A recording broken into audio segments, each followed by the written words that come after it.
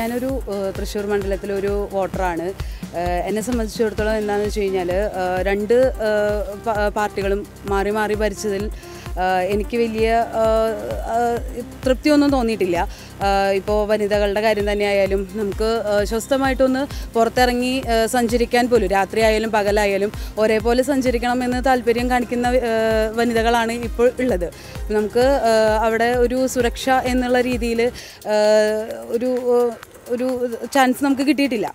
ഒരു ഒരു- മാറ്റം തീർച്ചയായിട്ടും ജനങ്ങൾ ആഗ്രഹിക്കുന്നുണ്ട്. നമ്മുടെ നാട്ടിലെ ജനങ്ങൾക്ക് എന്ത് വേണം ഏത് വേണം എന്ന് അറിഞ്ഞ് പ്രവർത്തിക്കാനായിട്ടാണ് ഒരു രാഷ്ട്രീയക്കാരൻ ആവശ്യം. ഇവിടെ വരുന്ന നേതാക്കന്മാരൊന്നും നമ്മുടെ ഈ തൃശ്ശൂരിന്റെ ടൂറിസം പൊട്ടൻഷ്യലോ ഇൻഫ്രാസ്ട്രക്ചറൽ പൊട്ടൻഷ്യലോ മര്യാദയ്ക്ക് ഇൻവെസ്റ്റ് ചെയ്യുന്നില്ല മര്യാദയ്ക്ക് പ്രവർത്തിക്കുന്നില്ല.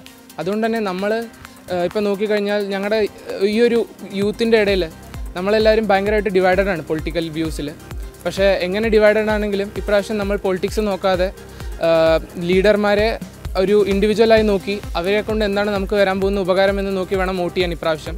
അതുകൊണ്ട് തന്നെ വൈസായിട്ട് ചൂസ് ചെയ്ത് വോട്ട് ചെയ്യുക എന്ന് ഞാൻ പറഞ്ഞുകൊണ്ട് രണ്ടായിരത്തി ഇരുപത്തിനാല് ഈ ലോക്സഭാ ഇലക്ഷൻ എന്തുകൊണ്ടും വളരെ പ്രത്യേകതയുള്ള ഒരു ഇലക്ഷനാണ് സാധാരണ ഒരു ഇലക്ഷൻ എന്ന് പറയുമ്പോൾ രണ്ടോ അതിൽ കൂടുതലോ പാർട്ടികൾ തമ്മിലുള്ള ഒരു മത്സരമായിരിക്കും. ഇതിൽ മത്സരം എന്ന് പറഞ്ഞു തന്നെ കാണാനില്ല. എന്തുകൊണ്ടെന്നാൽ എല്ലാവർക്കും അറിയാം ആരാണ് സെൻട്രൽ ഗവൺമെന്റിൽ വരാൻ പോകുന്നത് എന്നുള്ളത്. അപ്പോൾ സെൻട്രൽ ഗവൺമെന്റിൽ അത്രയും ശക്തമായിട്ടുള്ള ഈ പത്ത് കൊല്ലം ട്രാക്ക് റെക്കോർഡിന്റെ തെളിയിച്ചിട്ടുള്ള ഒരു ഗവൺമെന്റ് അവിടെ വരുമ്പോൾ അതിന്റെ ഒരു പ്രതിനിധി എന്നുള്ള നിലയ്ക്ക് നമുക്ക് ഇവിടുന്ന് ഒരു എം പിനെ ആവശ്യമുണ്ട്. ഈ ഇതുവരെയുള്ള നമ്മുടെ സ്വതന്ത്ര ഭാരതത്തിന്റെ ചരിത്രം എടുത്ത് നോക്കുകയാണെങ്കിൽ കേരളം ഫോം ആയതിനു ശേഷവും ഇവിടുത്തെ ലെഫ്റ്റും റൈറ്റും കൂടി ഭരിച്ച് ഭരിച്ച് ഭരിച്ച് അവസാനം കടങ്ങൾ മാത്രം കൊണ്ട് മൂടിയിട്ടുള്ള ഈ അവസ്ഥയിൽ നിന്ന് മോചനം കിട്ടണമെങ്കിൽ ദീർഘവീക്ഷണമുള്ള ഒരു എം പിനെ ഇവിടുന്ന് ആവശ്യമുണ്ട്. നമുക്ക് എല്ലാവർക്കും അറിയാം ഇതിനു മുമ്പ് പോയ എം പിമാരവിടെ എന്ത് ചെയ്തു എന്നുള്ളതും എത്ര രൂപയുടെ ഫണ്ടാണ് അവർ ലാപ്സാക്കി കളഞ്ഞതെന്നുള്ളതും ഒരു രൂപ പോലും ജനങ്ങൾക്ക് കൊടുക്കാതെ അവർക്ക് കിട്ടേണ്ടതെല്ലാം പോക്കറ്റിലിട്ട് പറ്റാവുന്നല്ല അടിച്ചു മാറ്റിയിട്ടുള്ള ഒരു എം പി സമൂഹത്തിനെയാണ് നമ്മൾ ഇതുവരെ കണ്ടത്.